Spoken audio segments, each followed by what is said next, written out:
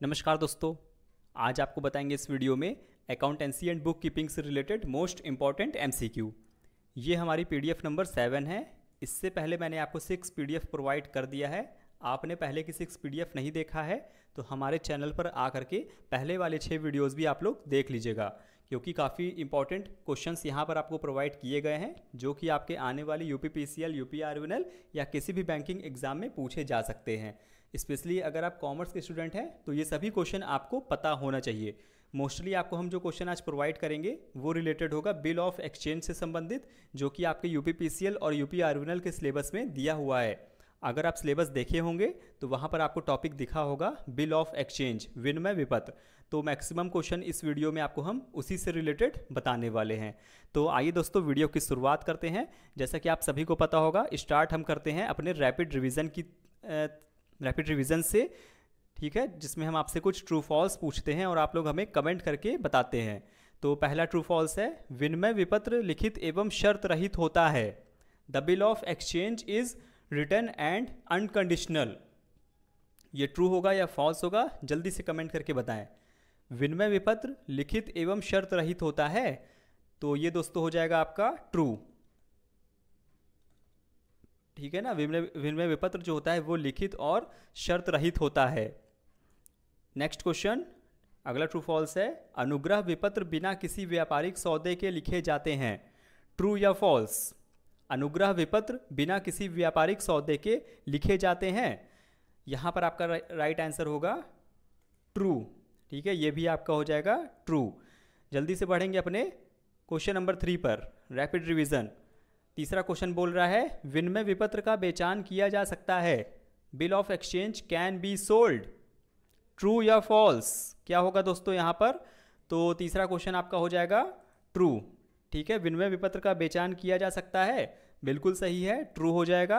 Next question बोल रहा है नोटरी पब्लिक को उनकी सेवाओं को दी जाने वाली रकम ब्याज कहलाती है। The amount paid to the notary public for their services is called interest notary public को उनकी सेवाओं को दी जाने वाली रकम ब्याज कहलाती है। दोस्तों, ये आपका हो जाएगा फॉल्स ठीक है ना, ये वाला आपका फोर्थ वाला हो जाएगा। फॉल्स और आज इस पीडीएफ का last rapid revision last question है ट्रू फॉल्स का। इसके बाद आपको हम बताएँगे मोस्ट इंपॉर्टेंट एमसीक्यू विनिमय बिल का बेचान करने वाला व्यक्ति पृष्ठांकित कहलाता है। The person selling the bill of exchange is called the endorser true और फॉल्स फॉल्स ये होगा दोस्तों फॉल्स ठीक है ना? चलिए आज का ट्रू फॉल्स इतना ही था। अब बढ़ेंगे अपने एम पर, ये सभी क्वेश्चन मोस्ट इंपॉर्टेंट है, बिल्कुल भी एक, भी क्वेश्चन को मिस मत करिएगा, सभी क्वेश्चन को ध्यान से देखिएगा। यहाँ पर देखिए, आपको बता, पहले ही बता दिया था बिल ऑफ़ एक्सचेंज से रिलेटेड क्वेश्चन प्रोवाइड किए जाएँगे, और ये आपका सिलेबस में शामिल किया गया है पीसीएल और यूपी आरयूएनएल ठीक है ना? इसके सिलेबस में शामिल किया गया है इस टॉपिक को तो ध्यान से देखिएगा सभी क्वेश्चन और मैक्सिमम क्वेश्चन इस टॉपिक से पूछे गए हैं, जो भी प्रीवियस ईयर में एग्ज़ाम हो चुके हैं। उसमें maximum question bill of exchange से आया हुआ है। आज का पहला क्वेश्चन विनिमय विपत्र लिखा जाता है। The bill of exchange is written as पहले तो आपको यही पता होना चाहिए कि विनिमय विपत्र किसके द्वारा लिखा जाता है। लेनदार द्वारा, देनदार द्वारा, विदेशी व्यापारी द्वारा, अंशधारी द्वारा। बिल ऑफ़ एक्सचेंज किसके द्वारा लिखा जाता है दोस्तों? सही आंसर आपका बनेगा ऑप्शन बी लेनदार के द्वारा। ठीक है, बिल्कुल भी इसको गलत मत करके आइएगा, अच्छे से याद कर लीजिए। विनिमय विपत्र लिखा जाता है लेनदार के द्वारा। चलिए बढ़ते हैं अपने जल्दी से नेक्स्ट क्वेश्चन पे। दूसरा क्वेश्चन आपके सामने आ चुका है। विपत्र का निकराई कराना आवश्यक है। निकराई मतलब होता है cleared. It is necessary to get the bill cleared जब उसका अनादरण होता है, जब उसका नवीनीकरण होता है, जब उसका बेचान किया जाता है, उपयुक्त में सभी। विपत्र का निकराई कराना आवश्यक है। इसका सही आंसर होगा दोस्तों बी वाला। ठीक है ना? बी वाला यहाँ पर सही हो जाएगा जब उसका नवीनीकरण होता है। अगला क्वेश्चन आपके सामने आ चुका है स्क्रीन पर।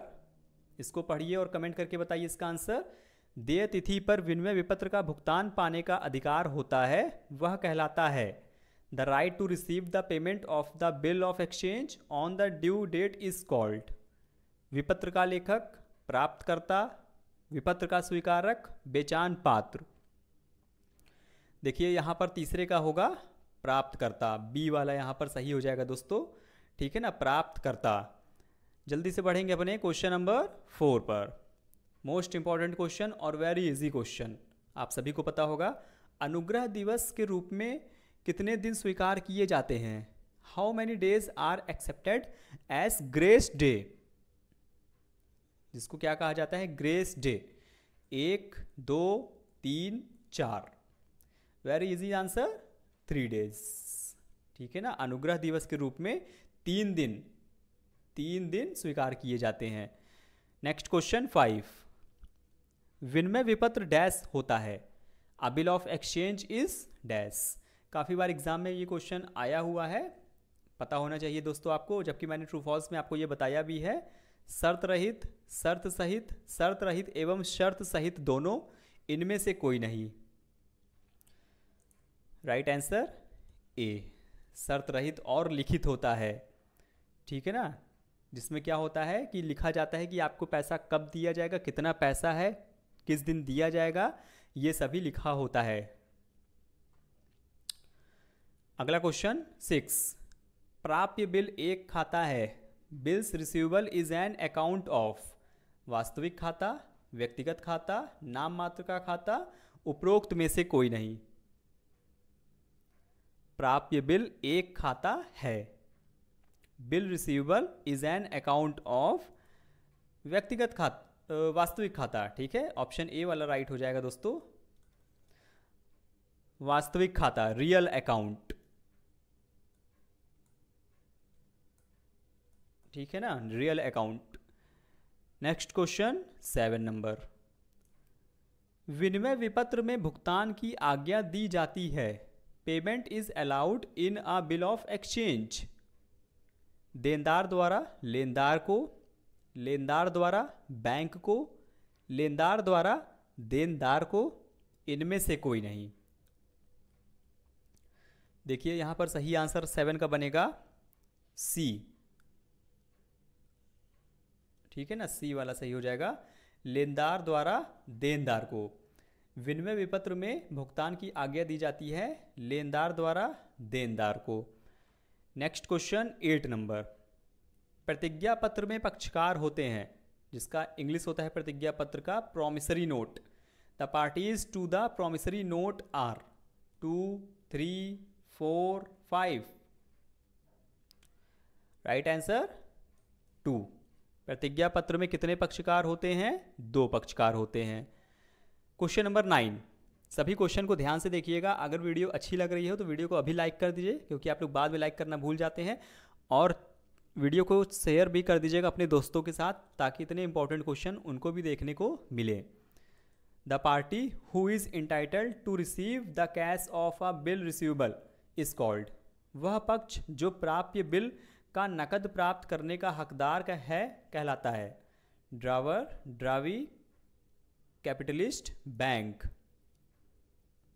Capitalist मतलब होता है दोस्तों पूंजीदाता। देखिए जो सही आंसर बनेगा, ऑप्शन ए हो जाएगा, ठीक है, नाइन का हो जाएगा A, drawer. Question number ten. If the due date is public holiday what will be the due date of the bill? देखिए इंपॉर्टेंट क्वेश्चन है। अक्सर पूछा जाता है परीक्षाओं में, यदि नियत तिथि सार्वजनिक अवकाश है, जिस दिन भुगतान होना है, उस दिन अगर सार्वजनिक अवकाश है तो बिल की दे तिथि क्या होगी? Preceding day following day the same day after two days तो सही आंसर बनेगा प्रिसीडिंग डे ठीक है, अगर मान लीजिए थर्टी वन को भुगतान होना है, लेकिन इस दिन किसी वजह से सार्वजनिक अवकाश है, कोई फेस्टिवल पड़ गया तो इसका भुगतान कब होगा दोस्तों? एक दिन पहले होगा। अगर इस दिन संडे पड़ गया तो इसका भुगतान कब होगा आपका? उनतीस को होगा। ठीक है ना? ये इस तरह से होता है मतलब मतलब कि एक दिन पहले होता है। बाद में नहीं होता है, पहले होता है, इतना याद रखिएगा। Next question, eleven.